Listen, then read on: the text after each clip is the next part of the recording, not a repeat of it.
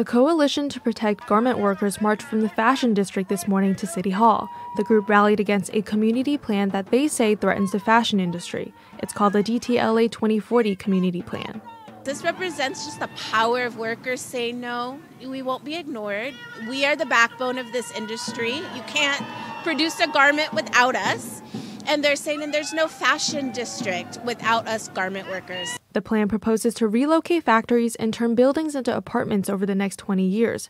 Protesters say they are fighting to preserve the neighborhood, protect their jobs, and push city leaders to create job opportunities. We're not saying no to all development. What we're saying is that development has to consider us. So that means we're coming back, right? We'll be back here. We're going to be in City Hall. We're going to be bringing our message and our voice. In downtown LA alone, the fashion district is home to more than 20,000 garment workers. During the COVID 19 pandemic, the garment workers you see behind me were part of the essential workforce, making millions of face masks for frontline workers. But now the 2040 community plan is pushing them out and threatening their essential income often making less than minimum wage. Um, many workers, you know, are, are barely getting by even with minimum wage salaries.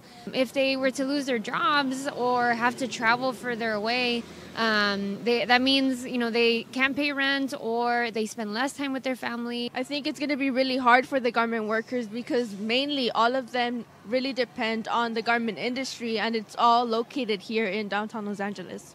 The coalition plans to meet members of the Planning and Land Use Committee at City Hall next week. And on May 12th, the City Council will be voting on the plan to turn garment factories into apartments. For Annenberg Media, I'm Tracy Wang.